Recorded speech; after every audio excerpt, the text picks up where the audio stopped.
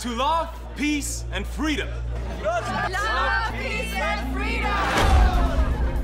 Es klagt meine Brüder! Frisch zurück von der Grenze!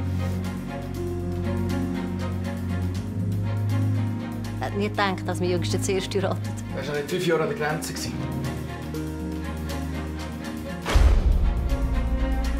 Schwiegervater, gib mir eine Chance. Ich bin bereit. Ich habe so viele Ideen. Deine Kunstfasertraum.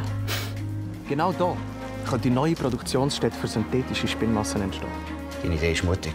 Das gefällt mir. Kant hat mir von einem Wissenschaftler in Dresden erzählt. Ein Deutscher. Was Sie hier sehen, meine Herren, ist genauso gut wie Nylon, Nur viel billiger. Machen Sie eine Liste von allen Komponenten, die Sie benötigen.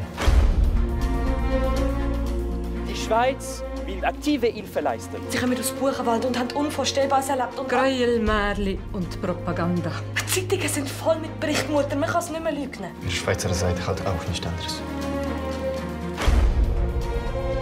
Er befürchtet, es könnte sich eine vitale Nazi-Untergrundbewegung formieren. Wir sitzen hier wie die Maden im Speck in den edelsten Hotels, saufen Champagner, fressen Kaviar. Ich kann euch Namen geben.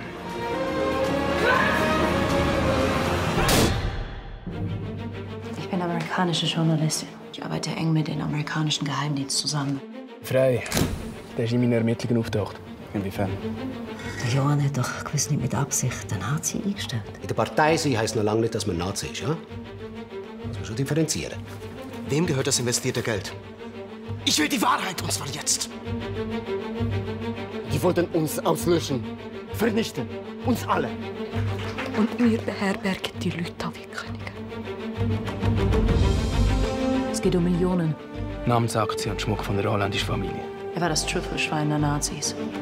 Wenn du es schaffst, Karl und den Scholz zu überführen, dann brauchst du doch nicht einmal mehr, um die Firma in Dreck zu ziehen. In Dreck zu ziehen?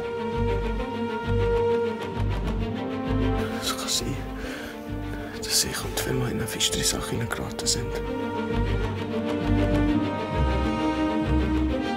Zudem, wenn sie über deine Firma im Scholz ins Geld ins Ausland schaffen. Das darf nicht passieren.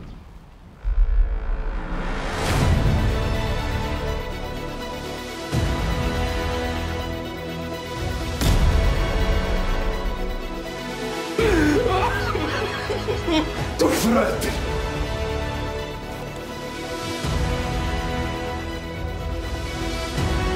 Der Vater wäre so stolz auf euch.